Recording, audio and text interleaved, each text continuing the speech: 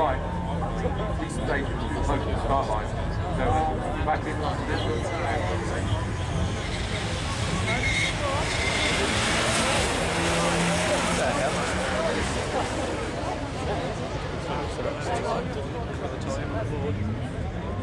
That's what your car going down there, mate.